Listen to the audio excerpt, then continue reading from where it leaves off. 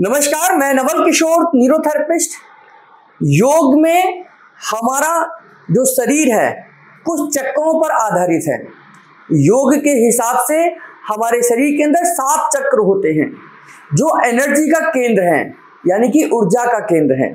उन्हीं सात चक्रों में कहीं भी इनबैलेंस हो जाता है, कहीं पर ऊर्जा का अधिक हो जाए या कम हो जाए तो वहाँ पर बीमारी आने के चांसेस हैं। और न्यूरोथेरेपी इन योग के आधार पर जो हमारे बॉडी के अंदर बने हुए हैं चक्र, इनको बैलेंस करना जानती है। जैसे, सबसे पहले अगर आपका मूलाधार चक्र गड़बड़ है तो आपको जेनेटल ऑर्गन से रिलेटेड बीमारियाँ आ सकती हैं।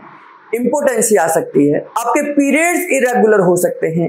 इस पर काउंट कम या ज़्यादा हो सकता है या उसकी जो क्वालिटी है वो खराब हो सकती है। तो जेनेटल ऑर्गन्स के आसपास की जो समस्याएँ हैं, वो मूलाधार चक्र की गड़बड़ी की वजह से है। और यहाँ पर न्यूरोथेरेपी के प्रेशर पॉइंट के माध्यम से हम इस एरिया के ब्लड सर्कुलेशन को नॉर्मल ला सकते हैं।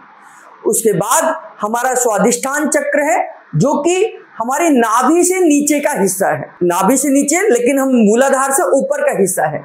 ये जो हिस्सा है, स्वादिष्टान चक्र जो है, वो हमारा डाइजेशन से रिलेटेड है, यानी कि पेट से रिलेटेड है। जहाँ पर हमें ये समझ आता है कि स्वादिष्टान जो चक्र है, उसमें आपका एब्जॉर्प्शन का केंद्र है।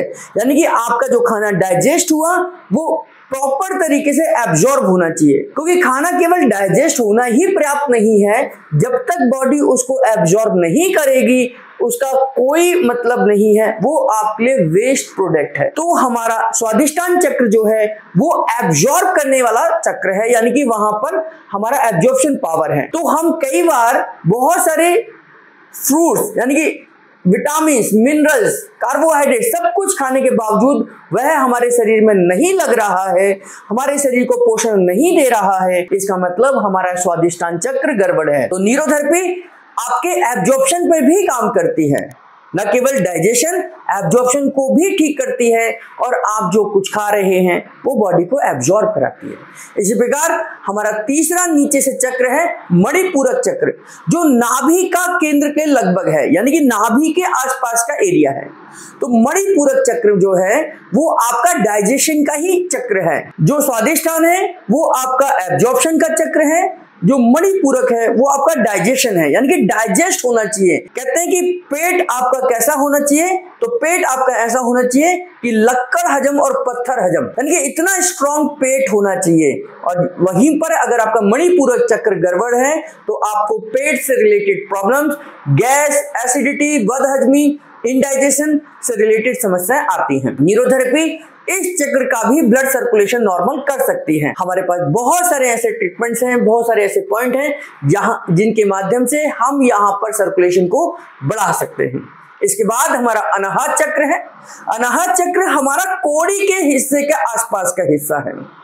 अनाहत चक्र, जिसको हम हृदय चक्र भी कह सकते हैं, जो हमारा हृदय से, यानी कि जो स्टनम बोन है, उसके, उससे लेकर हमारा ये कोड़ी का जो हिस्सा है, ये अनाहत चक्र का भाग है। इसमें गड़बड़ी होने से आपको हार्ट प्रॉब्लम के साथ साथ आपको हाइटस हर्निया, आपको कोड़ी की समस्या, आपको एसिड रिफ्लैक्स जैसी समस्याएँ इशोफेगस से रिलेटेड समस्याएँ आ सकती हैं।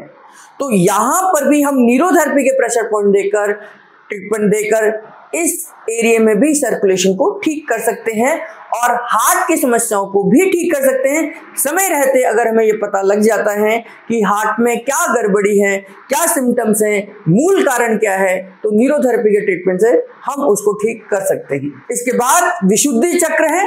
विशुद्धि चक्र जो है हमारा, वो थायराइड का एरिया है।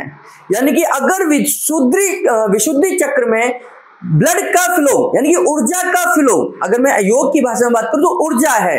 साइंस की भाषा में बात करूँ तो ब्लड सर्कुलेशन है। यहाँ पर ये इनबैलेंस होगा तो आपको गले से संबंधित, यानी कि थायराइड से संबंधित समस्याएँ आ सकती हैं। तो हमारे पास न्यूरोथेरेपी के माध्यम से हम इस विशुद्ध केंद्र में भी ब्लड सर्कुलेशन को नॉर्मल ला सकते हैं, यानी कि विशुद्धि चक्र को भी शुद्ध कर सकते हैं। और फिर है ज्ञान चक्र। जो हमारा ज्ञान चक्र है, ये हमारा पिट्यूटरी ग्लैंड का एरिया है। पिट्यूटरी ग्लैंड जिसको हम मास्टर ग्लैंड ऑफ़ बॉडी कहते हैं, जो हमारे मैक्सिमम एंडोक्राइन ग्लैंड्स को कंट्रोल करती हैं। चाहे उसमें आपका थायराइड हो, चाहे फिर आपका एडिनल ग्लैंड हो, चाहे फिर ओवरीज हो टेस्टिस हो, इन सबको कंट्रोल करने का काम हमारी पिट्यूटरी ग्लैंड करती है। तो हम अगर ये गड़बड़ है तो आपको मानसिक बीमारियाँ आपको हार्मोनल समस्याएँ आपको साइकोलॉजिकल प्रॉब्लम्स आ सकती हैं। तो इसके लिए भी न्यूरोथेरेपी काम करती है।